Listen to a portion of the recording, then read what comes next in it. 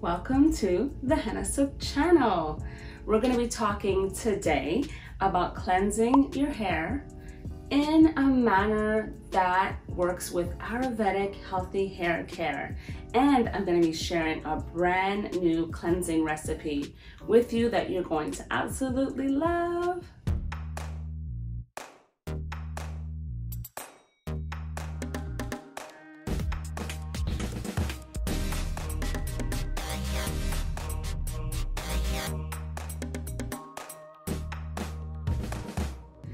Before we get into this exclusive brand new cleansing recipe that I have for you, let's talk a little bit about how you can prepare your hair for your henna hair color and your Ayurvedic herbal hair treatments.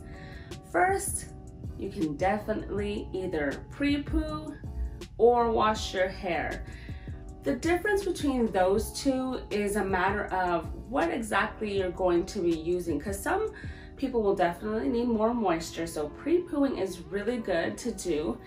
Um, but the great thing about these shampoo bars that I have right here, they're actually very, very, very rich in moisture. They do vary a little bit and I'll go through them um, and explain to each one's benefits and how they function, but definitely these are full of moisture that you can pre-wash your hair with and get a lot of slip and then you could do your henna hair color or your Ayurvedic hair treatment easily. So at Henna Sooq, we make all of our shampoo bars. We do not outsource the making of our shampoos. They're all made in-house. We do specialize in Ayurvedic hair care, so all the herbs we have for the products that we make are imported in because they don't grow here in the US. So they have to be imported in.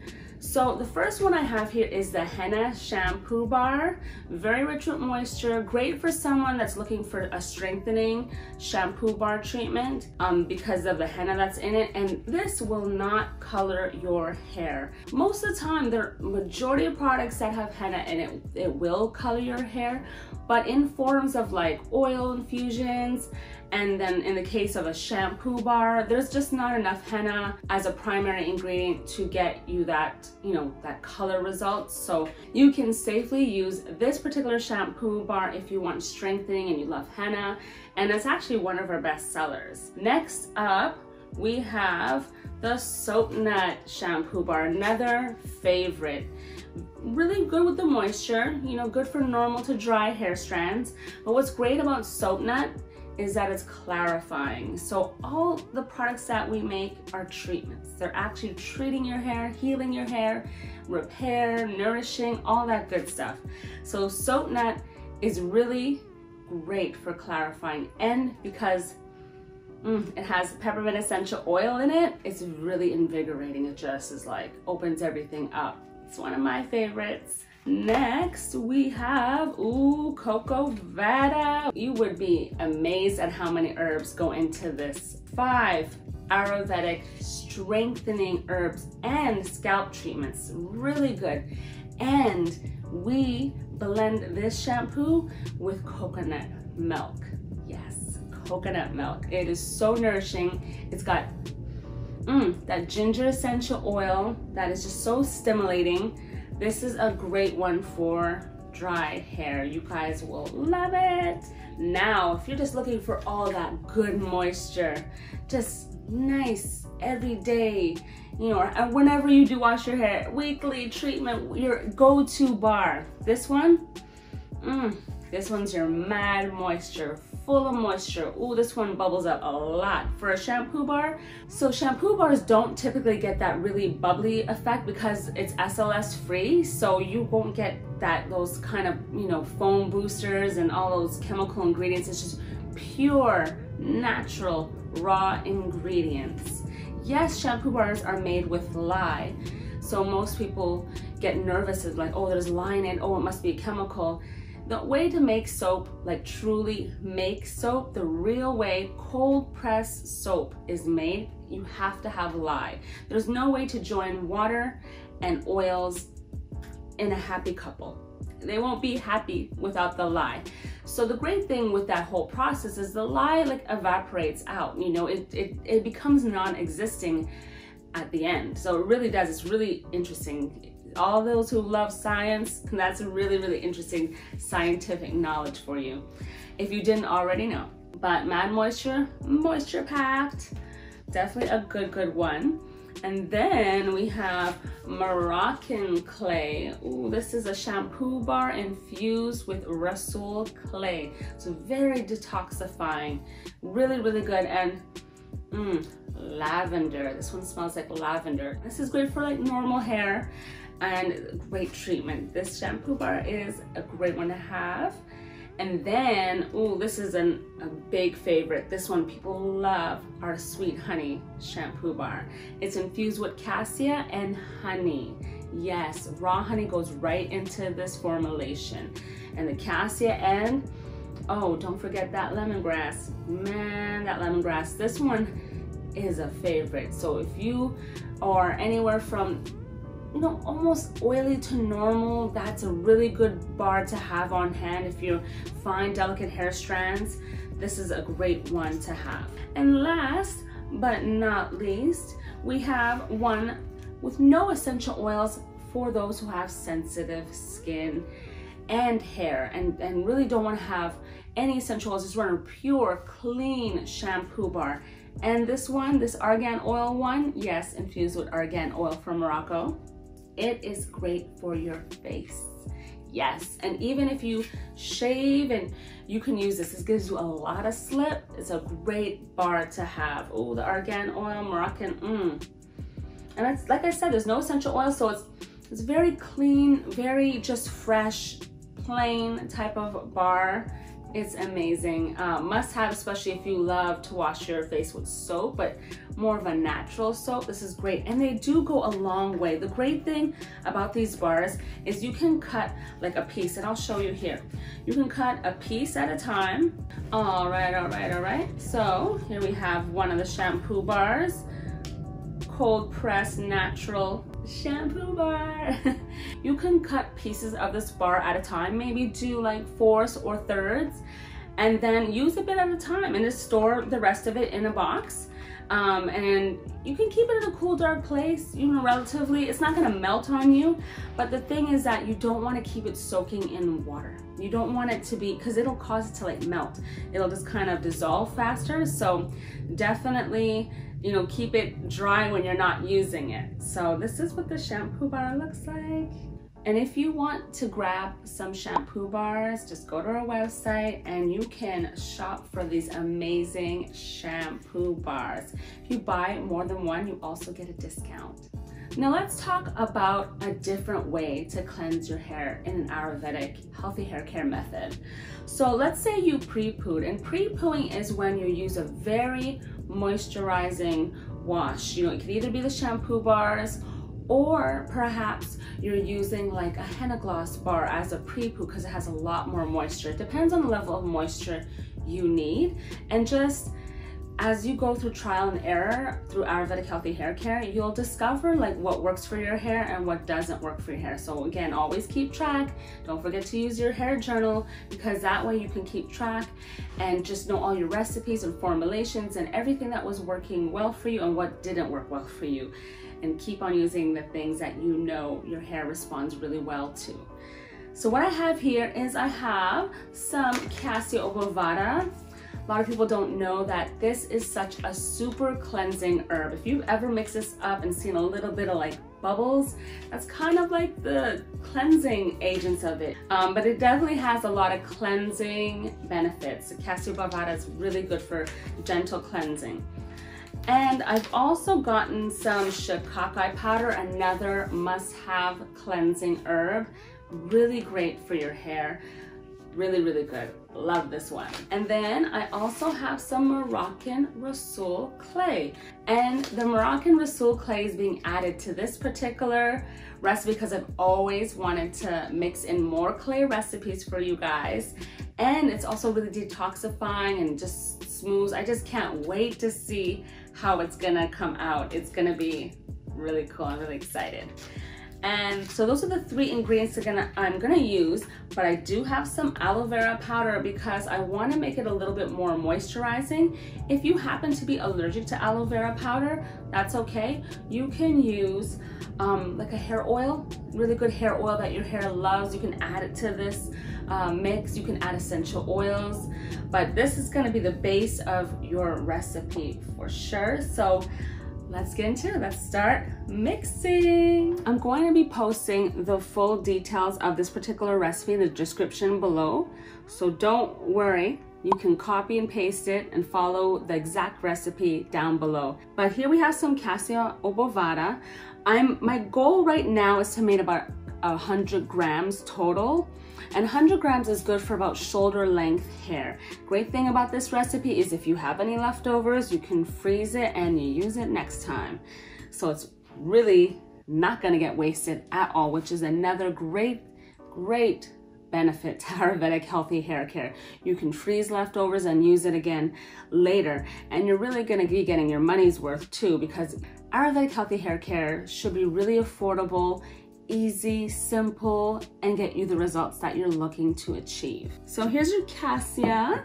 And now I'm gonna add in some shikakai powder. And then I am adding in some of the Rhassoul clay. Yes. So you have all your powders in this bowl. And now you're gonna mix them really well. This is great.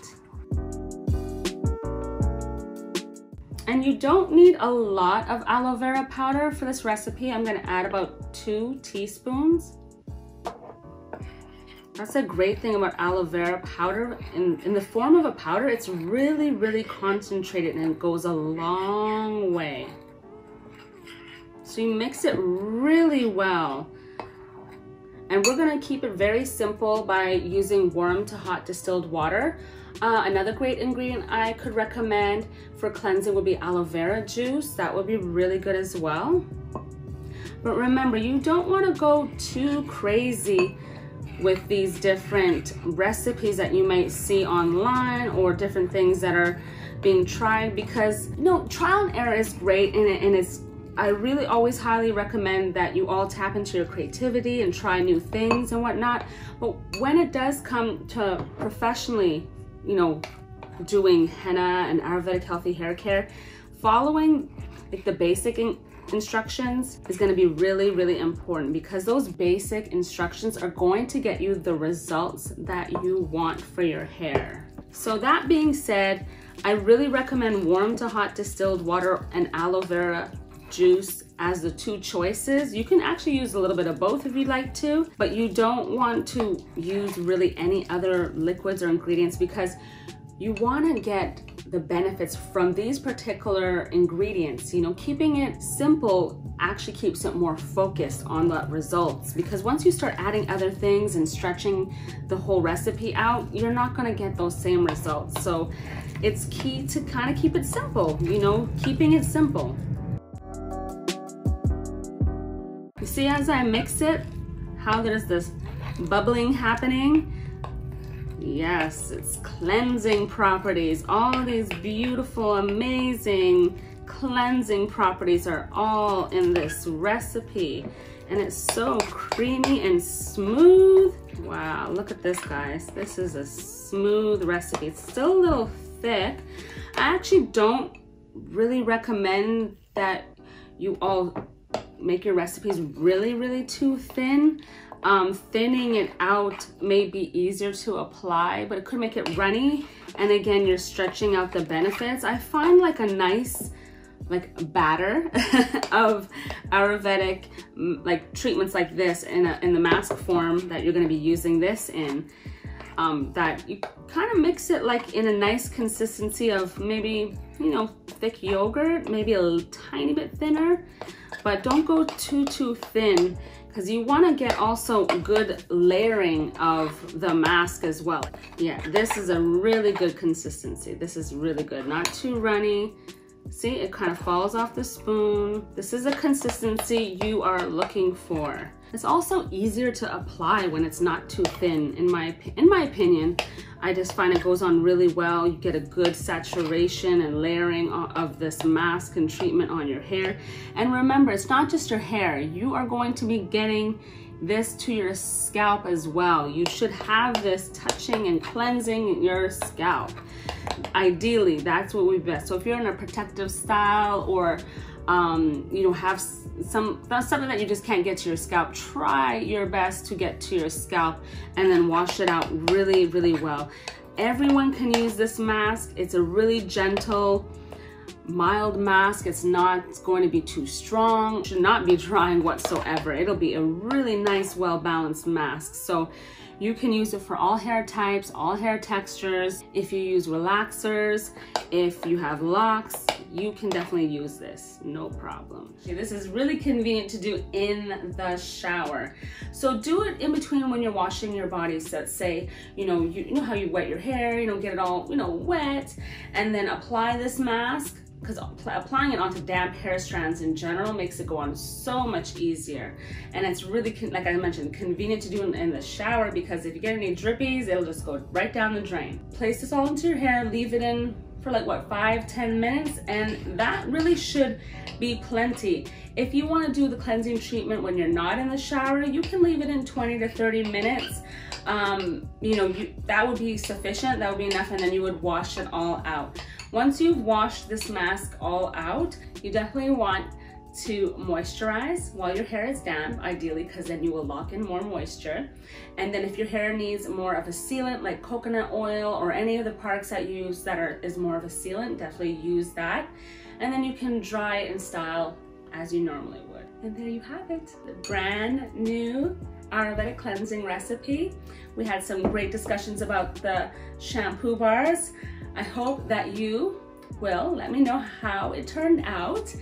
Did you like it? Did it work well? Did you make some adjustments? Did you play around with it a little? You know, whatever you may have done, whatever you may have played around with, let me know in the comments below. I would love to hear. And also, I want to know what is your favorite shampoo bar? Which of our shampoo bars do you like the most? A tip I almost forgot before I leave you. Let me let you know that when it comes to shampoo bars, there is a time of sometimes transition for your hair or your hair to get used to the shampoo bars.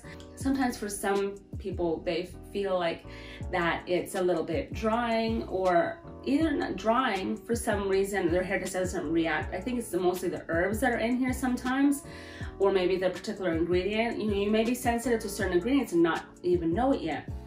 Or some people find that majority of the time what people will say, especially if their hair is not on the dry side, that it left their hair feeling very heavy and very oily and they couldn't get it out. So when it comes to shampoo bars, some of you will need either to still use a conditioner, which we have the cleansing co-wash at hennasooq.com, or you can use an ACV rinse. For those of you not familiar with an ACV and what that is, it's apple cider vinegar rinse for your hair. And that will help balance it out because sometimes your hair just needs balancing because this is a lot of moisture. There you have it. Thank you for joining me every week. You guys make me so excited to get on here and do a new video. Also, two things I want to say. We have two new courses coming out very, very soon that you guys are going to be super excited about. And mark your calendars because we're celebrating 15 years as a brand. Henna Sooq, yes, has been in existence since 2005. We have been around